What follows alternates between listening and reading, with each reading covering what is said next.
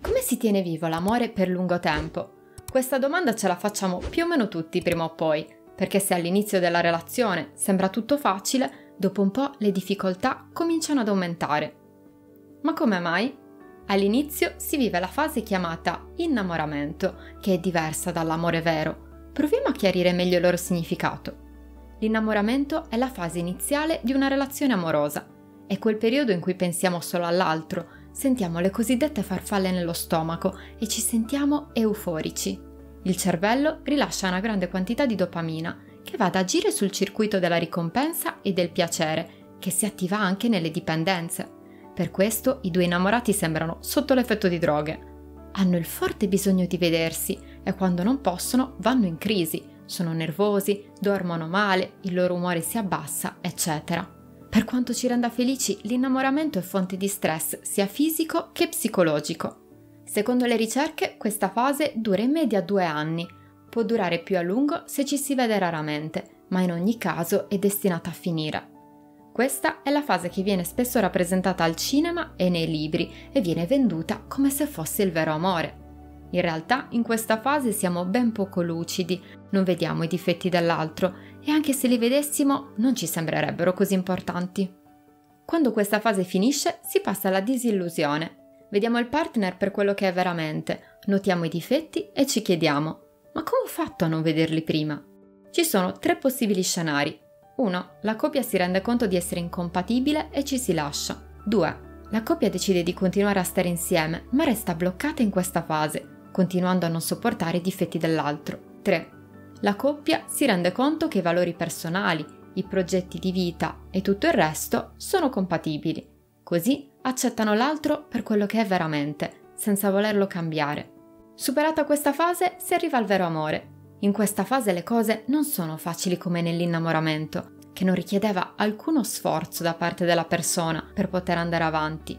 Se l'innamoramento si teneva in vita da solo, questo non vale più per l'amore vero. L'amore vero ha bisogno di impegno quotidiano, di attenzioni e di cure. La famosa fiamma può rimanere accesa, ma solo se viene alimentata giorno dopo giorno, mentre se si spegne diventa davvero molto difficile che si riaccenda. Questa fase può sembrare noiosa descritta in questo modo, ma in realtà l'intimità, l'unione e il sentimento che si crea è molto più profondo di quello dell'innamoramento. I partner si amano davvero per ciò che sono, senza volersi cambiare. Questo permette a ciascuno di loro di vivere un senso di sicurezza e di forza in tutti gli ambiti della vita, non solo nella relazione. Ma quindi, come si fa a tenere vivo l'amore in una relazione di lunga durata? Cominciamo col dire che è importantissimo capire in che modo noi amiamo l'altro e in che modo vorremmo essere amati. Ognuno di noi utilizza un linguaggio dell'amore, quindi manifesta e percepisce l'amore in una modalità che potrebbe non coincidere con quella del partner. Per questo è fondamentale che ogni coppia diventi consapevole del linguaggio dell'amore che utilizza.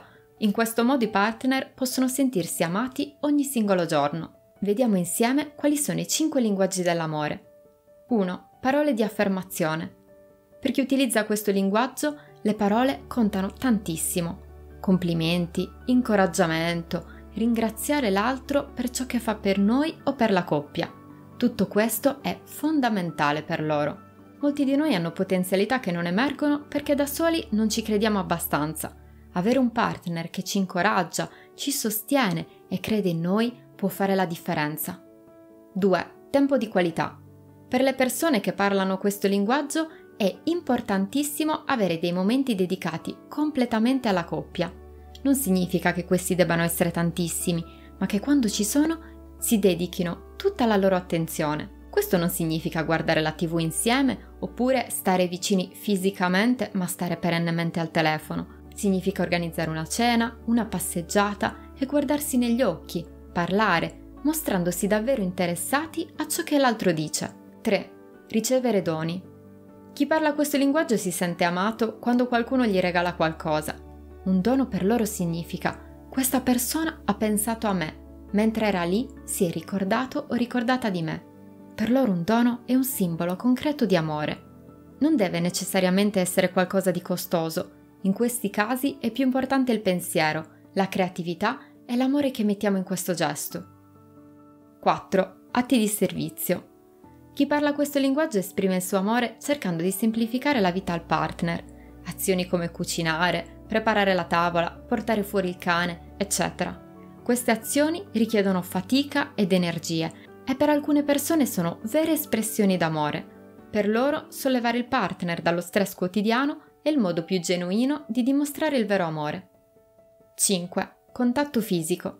Da bambini questo tipo di amore è molto importante per lo sviluppo.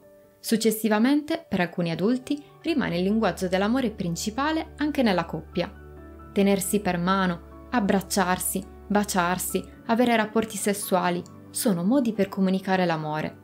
Quando una persona che usa questo linguaggio ti abbraccia, sta comunicando molto di più, sta dicendo che ti ama, che sei importante e che ti vuole vicino.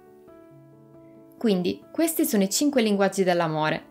Conoscere il proprio e quello del proprio partner è importantissimo per far sentire l'altro amato quotidianamente e in questo modo alimentare la fiamma. Quando il linguaggio dell'amore non viene individuato è facile sentirsi rifiutati e non amati e magari anche noi non sappiamo spiegare perché. Ragionate su questi linguaggi e cercate di capire quali per voi sono più importanti. Se trovate difficile riconoscere il vostro linguaggio, provate a rispondere a queste domande. Quali azioni o carenze del vostro partner vi feriscono profondamente? Il contrario è probabilmente il vostro linguaggio dell'amore. 2. Che cosa avete domandato più spesso al vostro partner? Probabilmente ciò che avete chiesto più spesso è ciò che vi farebbe sentire più amati. 3. In che modo esprimete amore al vostro partner? Il modo in cui esprimete il vostro amore potrebbe coincidere con il modo che vi fa sentire amati. Siete riusciti a individuare il vostro linguaggio dell'amore? Scrivete qui sotto la vostra classifica, dal più importante al meno importante. Io vi ringrazio per l'attenzione e vi auguro una giornata meravigliosa. Ciao!